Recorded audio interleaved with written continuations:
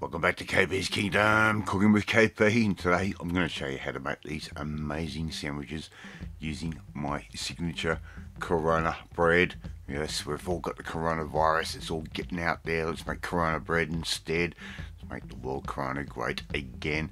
So here I've got about, around about three cups of self-raising flour, all-purpose flour that goes straight in. And on top of that I'm going to add in around about three teaspoons of sugar and a good pinch of salt goes straight in like that.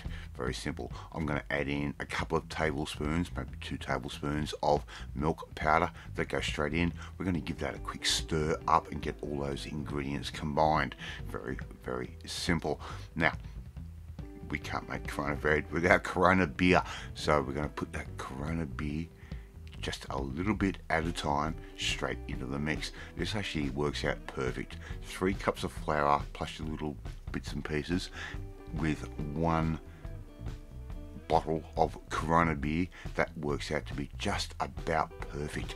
Maybe a little bit damp, but don't worry, that will dry out as it all cooks.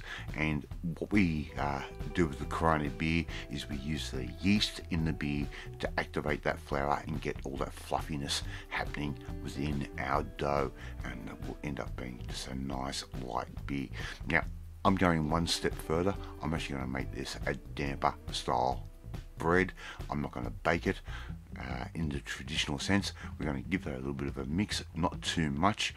The uh, flour will absorb any of that moisture that goes straight into our bowl. We give it a bit of a mix. We end up with soggy fingers.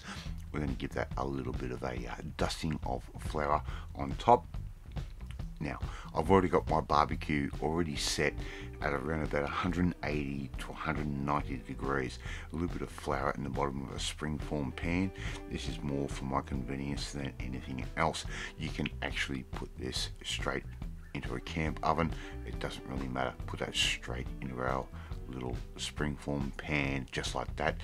Just bring the edges in a little bit like I'm doing right there and we're going to end up with a beautiful bread in around about 20 to 25 minutes. Believe me, if you haven't had a beer bread before or an Aussie damper before, you don't know what you're missing. It's really simple. We're going to cut a little cross in the top using a little paring knife, just like that.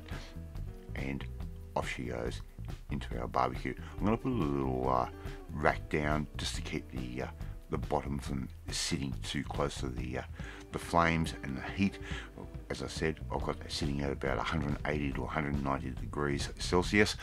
We're going to cook that for about 20 minutes, and there you go. We've got Corona bread, not coronavirus.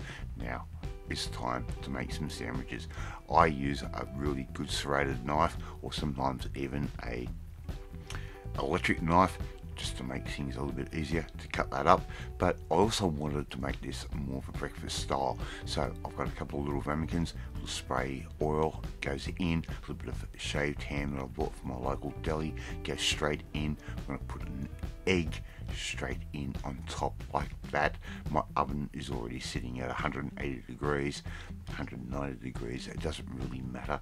I'm going to cook these to the way you want to. I'm going to put a little bit of chive, a little bit of sliced cheese that can go straight in over the top just like that how easy is this to make? They can go in until they're set and there you go. We can start making our sandwiches up and that bacon and egg works absolutely wonderful on this bread in itself. Alright, thank you so much for watching this video. Really do appreciate it. If you like this video, hit that like button. Gives me confidence. Should make you feel warm and fuzzy too. Don't forget to share this video with all your friends on all platforms of social media. We're trying to get the name of KP's Kingdom out there. But if you want to learn how to make really cool little interesting and fun recipes, tongue-in-cheek recipes like this, we need to come and join the family, my family. Hit that subscribe button and you'll never miss another one of my videos again. Eat my uh, Corona sandwich, and I will catch it next time. Bye!